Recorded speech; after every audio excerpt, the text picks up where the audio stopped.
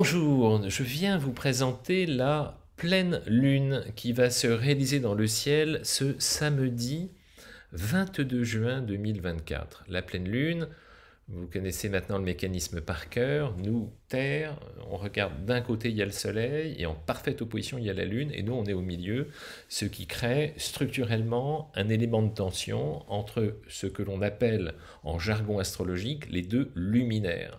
La Lune étant considérée, à notre échelle, d'un point de vue astrologique, comme un luminaire. Soleil et Lune, conscient, inconscient extérieur, intérieur, j'en ai parlé, peut-être que j'en reparlerai un petit peu. Bon, on est dans cette logique-là. La pleine lune se réalise très précisément samedi à 1h09 en temps sidéral, plus l'heure de Greenwich, plus l'heure d'été, en gros à 3h du matin. Pleine lune parfaite dans le ciel. Le soleil sera euh, à 1 degré euh, du cancer et la lune sera donc en face à 1 degré du capricorne, donc on va l'appeler la pleine lune en capricorne. Voilà. C'est un élément de tension, indiscutablement.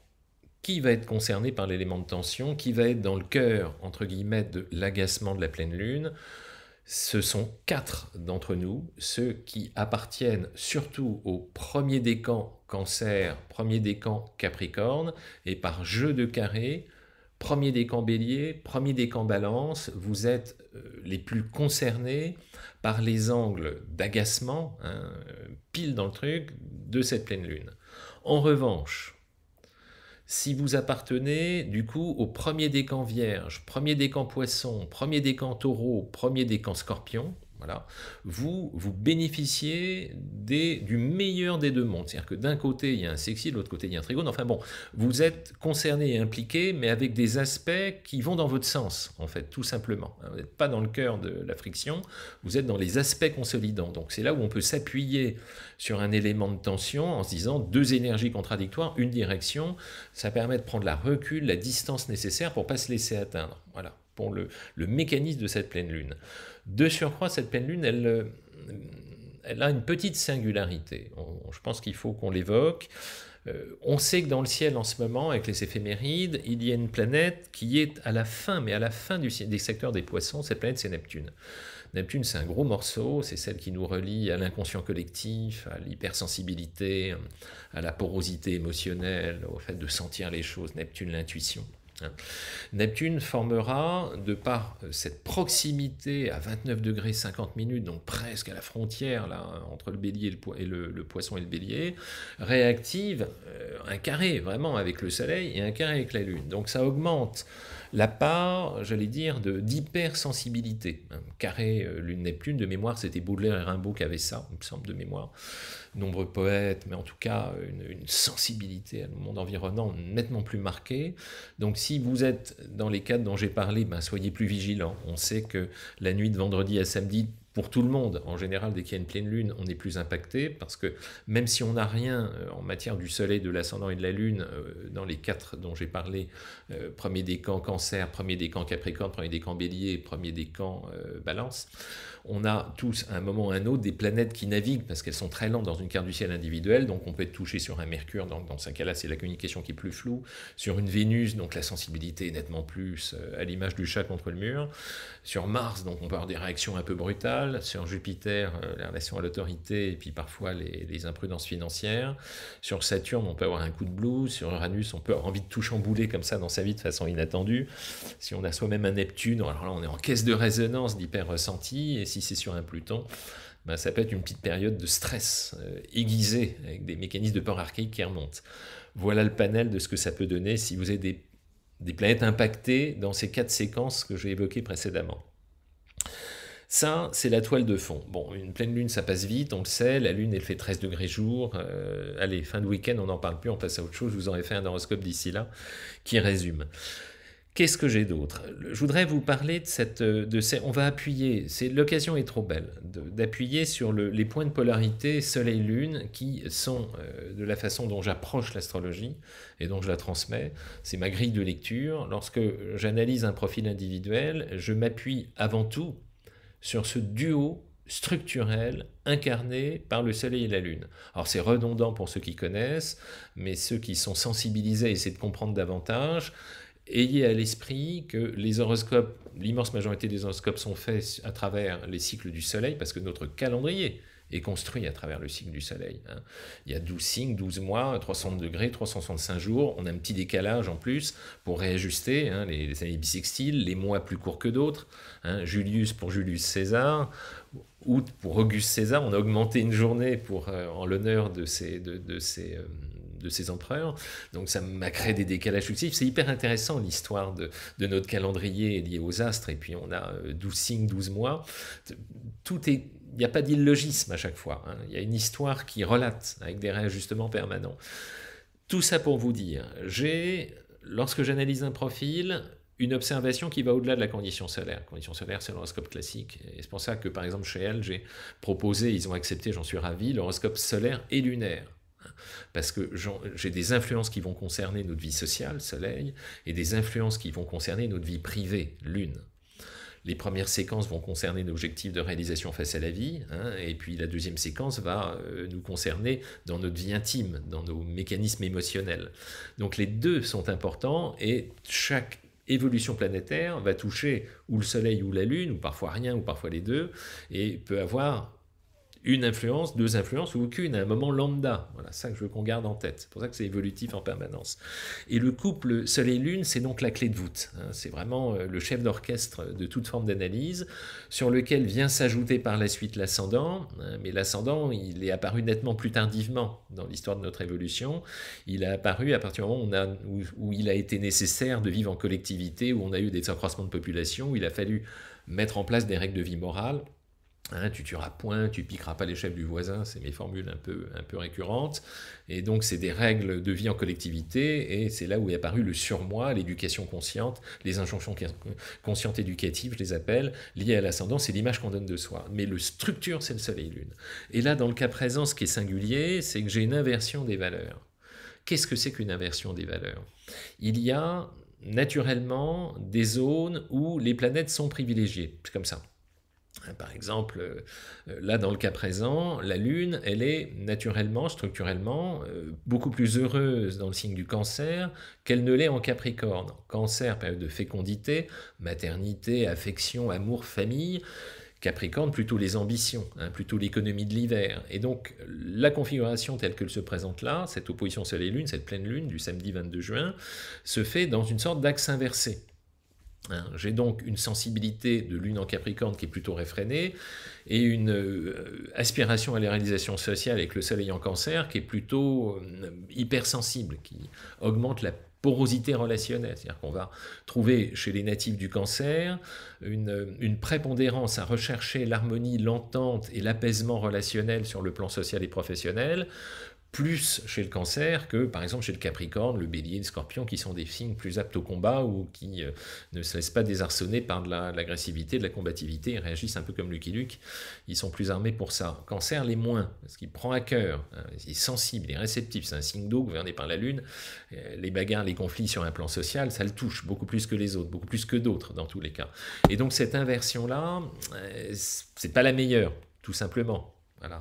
Donc ça réactive tous ceux qui sont hypersensibles de naissance, ça réactive dès qu'il y a de l'intelligence relationnelle émotionnelle, être plus réceptif à cette pleine lune en particulier. Voilà ce que je voulais mettre en lumière. Alors, je vous avais parlé de ça, mais je le fais dans les formations, mais je vous en donne des avant-goûts, parce que surtout qu'il y a une formation gratuite d'une semaine pour ceux qui sont tentés, il suffit de cliquer en dessous.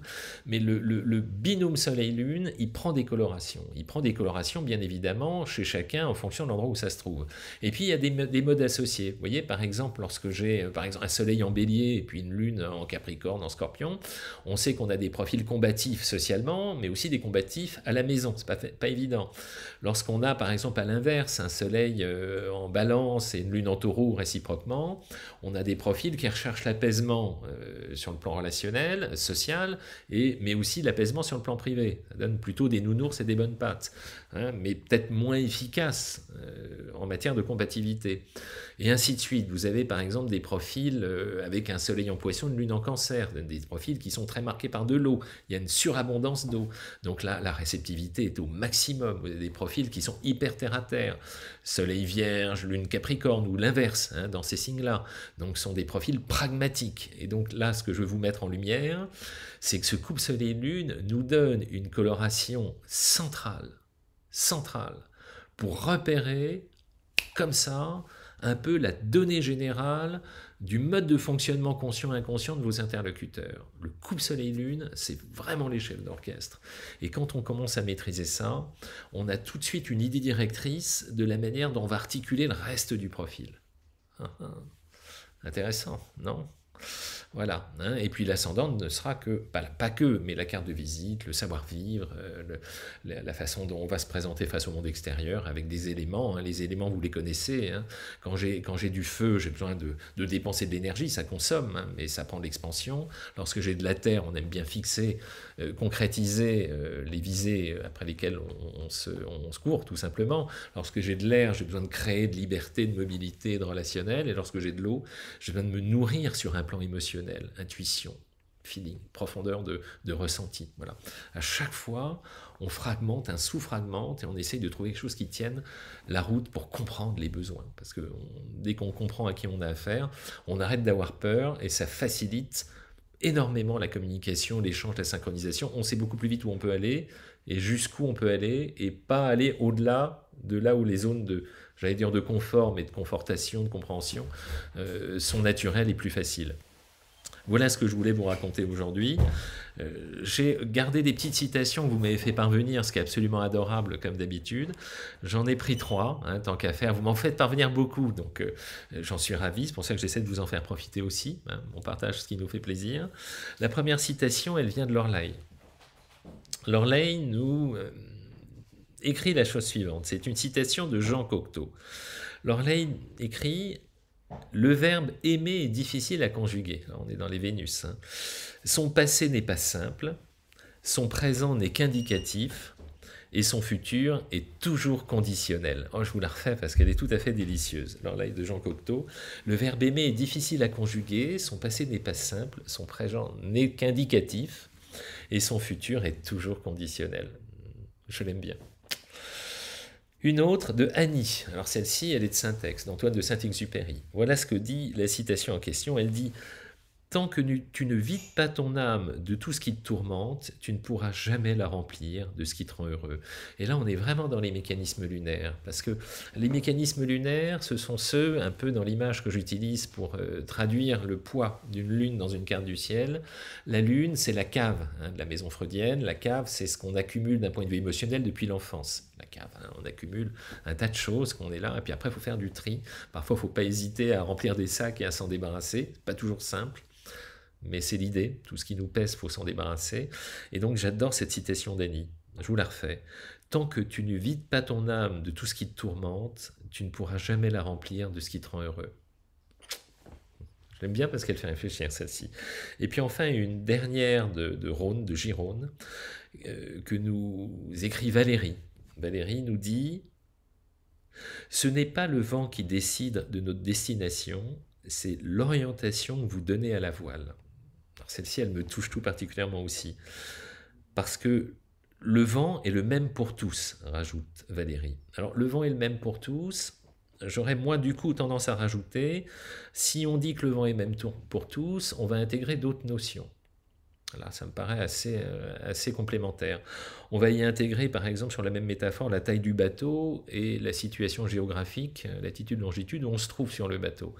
Parce qu'effectivement, si le vent est même pour tous, en fonction de l'endroit géographique où on va apparaître, on n'aura pas on n'aura pas les mêmes dispositions. Si vous êtes dans un endroit où il y a beaucoup de bois, vous pourrez construire un plus gros bateau. Si vous êtes dans un endroit où il y en a très peu, ça va être plus compliqué. Et si vous êtes dans une région où il y a beaucoup de vent, c'est quand même mieux que dans une, région où il n'y en a pas. Enfin, c'est des métaphores tout ça. Hein.